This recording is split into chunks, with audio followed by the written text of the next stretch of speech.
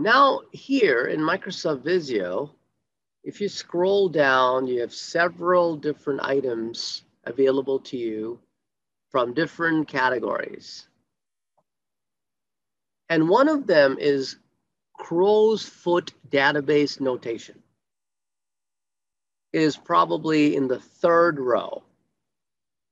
If, if you look at the top, you will see some categories, network, flowchart, software, education. If I go under software, these are the different templates specifically designed for software. Anyway, for now, we will be choosing crow's foot database notation. And then you will click create. Okay. On the left-hand side, you see entity. You can drag and drop an entity here. If you want, you can zoom in in the bottom right corner. You have a plus sign to zoom in and zoom out. So you can zoom in like this. So I have my entity here. If you double click where it says entity name, it lets you give it a name. For example, I want to call this one order. That's the name of my entity. When you're done, you can simply click outside and that finalizes the name. Let me zoom in more. It's a little bit more readable for everybody.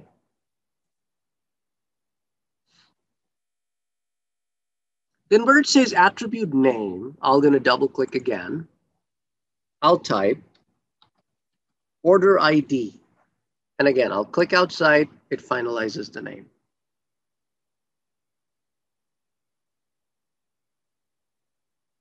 Under the attribute name, down below in the regular section, I'll have order date.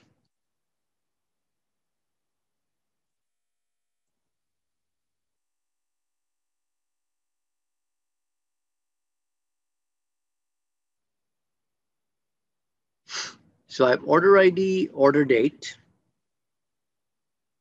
And the third one, just press delete. Click on it and press the delete key on the keyboard.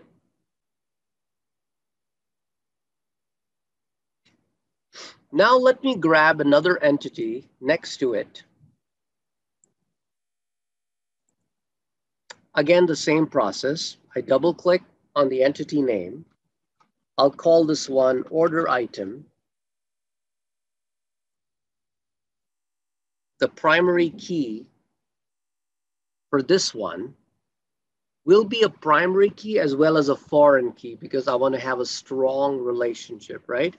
So this will be order ID.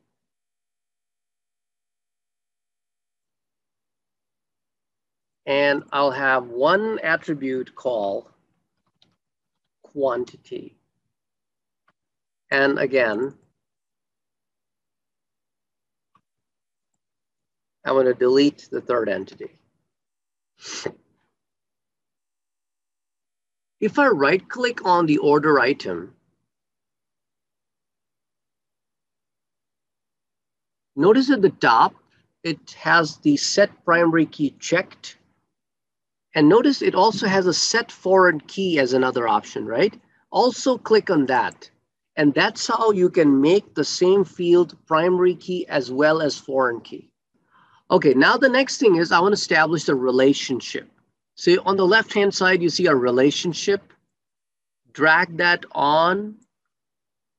And then, okay, this is actually what I want to do. To be on the proper, okay, so I, I basically want the one-on-one -on -one relationship from order. So notice this particular guy over here has the crowfoot symbol on one side and one-to-one relationship on the other. So I have to make sure that the correct one goes on the correct side.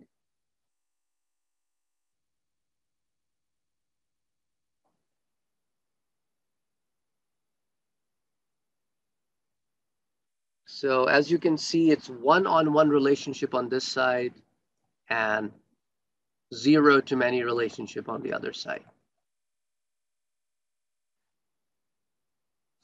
If I double click on this line, it lets me type. So I can type order contains order items slash placed. So that's a text that can go. So if I'm reading from order items, the order items are placed and order contains. So all I had to do was double click on the line. Now I'm right clicking on order date and I'm clicking on set required. So it becomes bold. And I'll repeat the same thing on the primary key and that also becomes bold. So anywhere I right click and click on set required, it just bolds the text.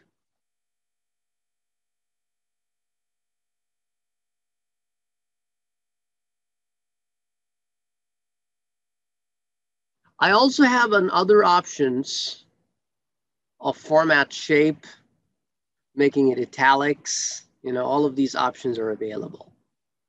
Other styles I could use. You know, I mean, I have several different options to choose from. Or if I want to customize, I could also do it. So, I mean, again, you have uh, access to pretty much anything and everything that you would have access to um, in Microsoft Word environment or PowerPoint. So that's how you can be creating extremely complicated diagrams or simple diagrams is totally up to you.